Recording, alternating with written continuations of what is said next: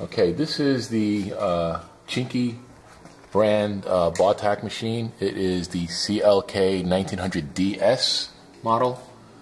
Uh, we've been able to do the conversions and uh, write patterns for this. It's very similar to a 1900. In fact, it's almost uh, an exact copy. There are some little different features here. Uh, one is there's a tension thread holding uh, device here. There's also a light underneath the machine, which when we power it on, you'll see there's a light here built into the sewing head. As far as the control panel, it's very similar. Uh, when the patterns are burned in, they start with pattern uh, 101. And so when you have the green light on number, you can change your patterns. And then this is your ready button, similar to what on a Juki machine.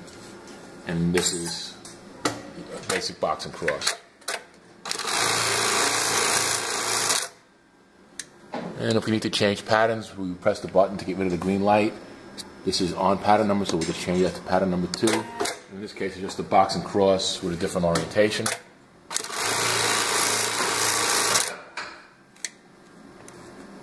And we'll just do that again for the next patterns.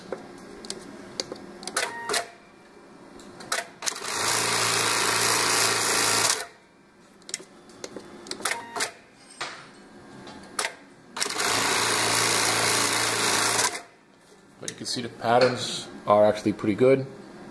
Machine runs nice and smooth.